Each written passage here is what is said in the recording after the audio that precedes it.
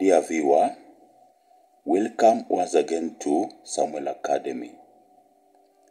Today I want to bring you a story, a Bible story about Samson, which is taken from the book of Judges, chapter 13 to chapter 16. Let us begin. Samson had a father called Manoah.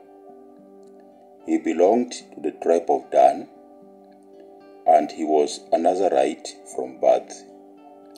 The tribe of Dan was found in this area. And down here, we have the tribe of Judah.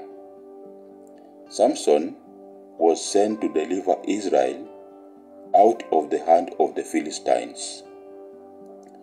After he was born, he grew up, and the Lord blessed him.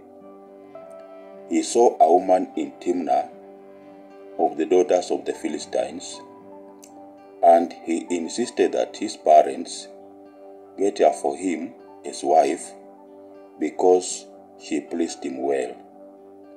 While in Timnah, a young lion roared against him.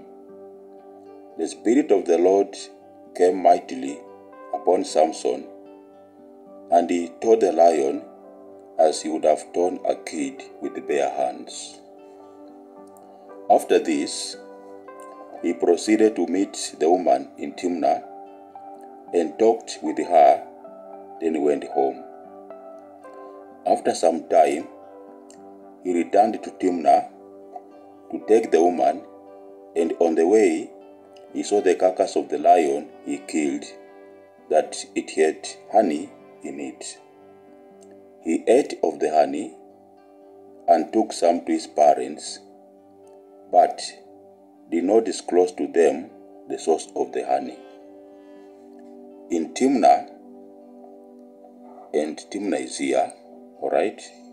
In Timnah, a feast was organized for him by the father of the woman. In the feast, the Philistines brought 30 companions to be with Samson. He put forth a riddle unto the companions, and if they got it right within seven days of the feast, then he would give them thirty sheets and thirty change of garments. In three days, the companions could not expound the riddle. The companions asked him, asked the woman to entice Samson in order to declare the riddle.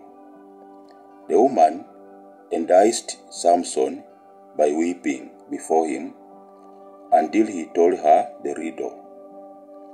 She in turn told the riddle to her people, the Philistines. The companions were able to expound the riddle because of Samson's wife. To compensate them, as he had promised, Samson went to Ashkelon and slew or killed thirty men and took their spoil and was therefore able to compensate the companions by giving them the thirty sheets and thirty garments. The woman's father gave her to one of the companions whom Samson had used as his friend. So the father took her daughter and gave to another man. Alright? To avenge himself, Samson caught 300 foxes, tied them tail to tail, and set a firebrand between the tails, and set them loose into the standing corn of the Philistines to destroy their crop. The Philistines retaliated by burning the woman and her father with fire. In response, Samson smote the Philistines hip and thigh with a great slaughter, then went to dwell in the top of the rock Etam.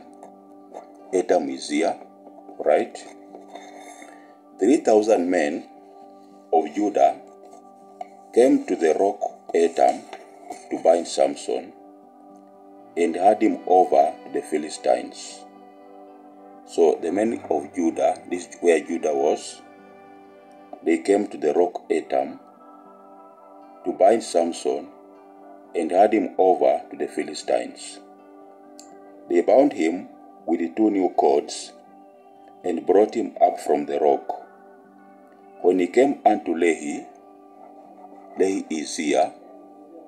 When they came unto Lehi, the Philistines shouted against Samson, and the Spirit of the Lord came mightily upon Samson, and the cords that were upon his hands became as flax that was burnt with fire, and his bands became loose from his hands.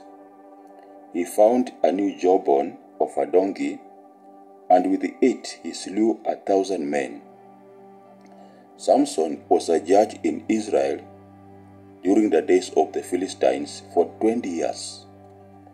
One day, Samson went down to Gaza. Gaza is here, down there, near the Mediterranean Sea. So one day, Samson went down to Gaza and found a harlot, that is a prostitute.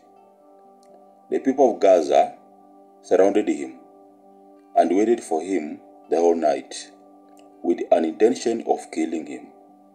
But he arose at midnight, took the doors of the gate of the city and the two posts, and carried them away to Hebron on his shoulders. Samson loved a woman of Sorek. Sorek is here. Okay. He loved a woman of Sorek whose name was Delilah. The Philistines conspired against Samson by asking Delilah to entice him in order to know the secret of his strength.